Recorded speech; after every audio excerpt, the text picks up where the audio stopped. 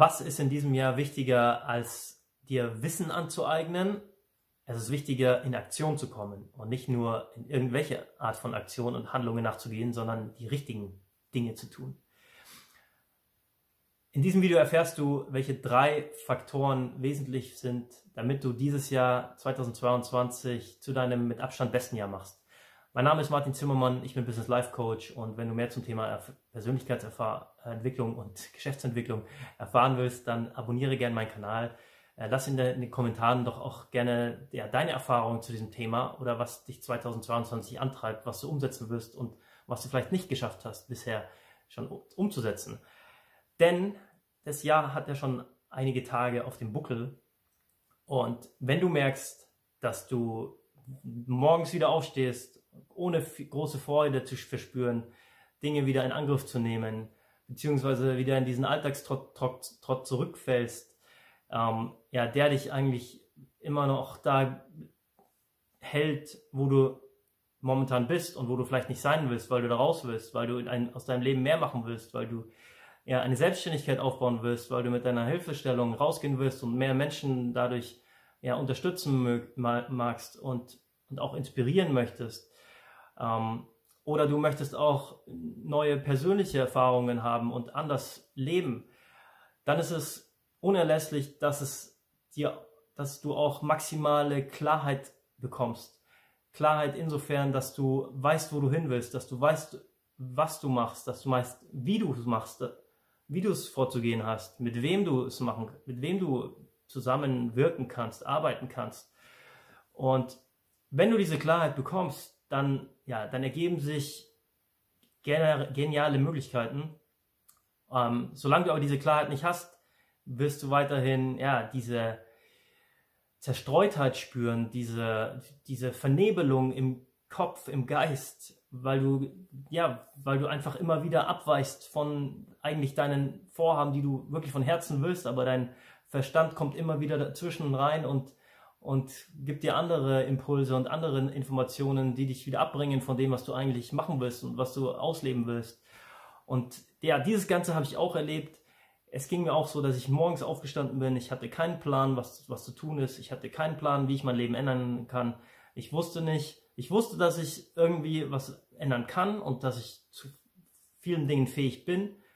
Auch äh, retrospektiv gesehen die ich vielleicht früher nie gedacht habe, dass ich sie schaffen kann. Ich dachte zum Beispiel auch nie, dass ich mein, dass ich mein Abitur schaffen werde. Ich dachte nicht, dass ich irgendwann mal ein, ein mehrsemestriges äh, Studium äh, ablegen kann.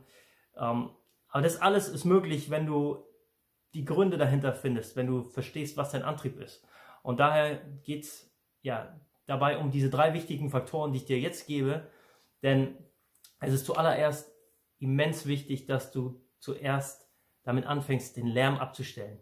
Lärm ab, abzustellen bedeutet, dass du dir bewusst wirst, dass du dein, du das Produkt deines Umfeldes bist. Du bist die, die, ja, das Resultat aus den Energien, die auf dich einfließen.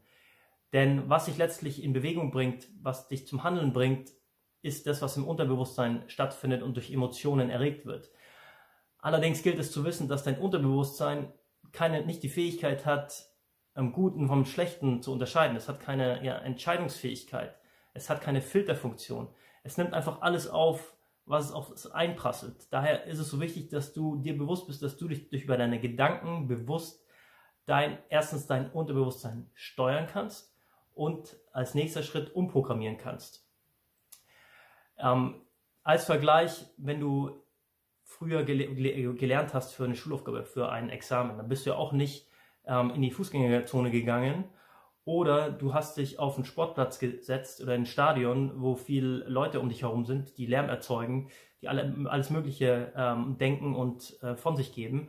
Nein, du hast dich dahin, dahin zurückgezogen, wo es ruhig ist, wo du dich auf dich konzentrieren konntest, wo du aufnahmefähig warst, wo du deine Energie fokussieren konntest auf deine, auf deine, auf die Informationen, die du aufnehmen durftest. Zwar hast du die klar das meiste ähm, in dein Kurzzeitgedächtnis abgespeichert, aber einiges vielleicht davon durch die Wiederholung ist in deinem Unterbewusstsein hängen geblieben. Und darum geht es auch, wenn du dich mit deiner, mit dem Thema Selbstentwicklung äh, ähm, beschäftigst und ja, du du was in deinem Leben ändern willst, dann das, das, was es ankommt, ist fokussiert immer wieder in die Wiederholung zu kommen und besonders wenn du am Anfang bist, da geht es darum, dich in einem ruhigen Zustand zu versetzen, ruhig zu sein, runterzukommen und dann ist es möglich, auch Neues zu erfahren und zu lernen.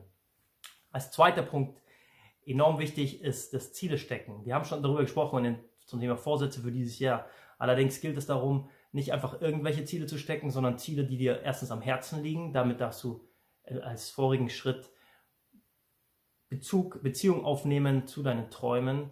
Das geht am einfachsten, indem du meditierst, indem du dich konzentrierst, indem du wieder Kind sein darfst, was uns immer wieder abgewohnt wurde, weil wir ausgelacht werden, wenn wir sagen, wir träumen davon, reich zu sein, wir träumen davon, in der Südsee zu leben, auf einer Insel, ähm, den ganzen Tag zu chillen und abzuhängen und Geld zu, trotzdem zu machen und in Freiheit zu leben, dann heißt es doch von vielen Seiten immer, hör auf zu träumen, hör auf zu spinnen, was, was bildest du dir eigentlich ein? Also lass dir nichts von anderen sagen.